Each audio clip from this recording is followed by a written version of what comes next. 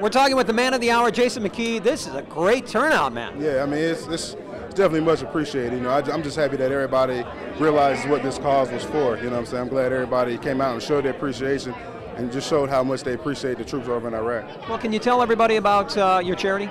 Yeah, my charity, uh, the Jason McKie Foundation, is a foundation that benefits military families for uh, parents and children who've been over there in Iraq that have actually been injured or been injured in combat or whatever.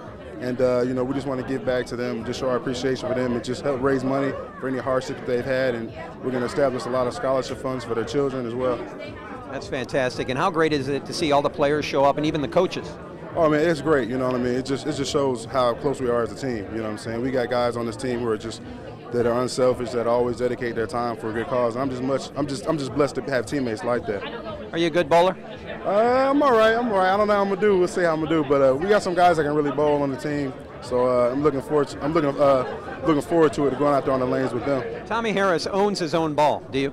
Yeah, I got my own ball. A lot, a lot of guys got their own balls. They're real particular about their own balls. So we'll see how it goes tonight. Well, since you're the man of the hour, you're feeling the pressure. A lot of people are going to be watching you. You, you can't throw a gutter ball. No, I ain't gonna throw a gutter ball, man. Hopefully, I can go out there and throw some strikes. I've been, uh, I've been sneaking against some practice in. The guys have been giving me a hard time about coming into practice, but uh, I was letting it be known I can't, I can't come in last on my own event. So hopefully, I get out there and I bowl fairly well. Jason McKie, good luck tonight. Thanks for coming. Thanks a lot.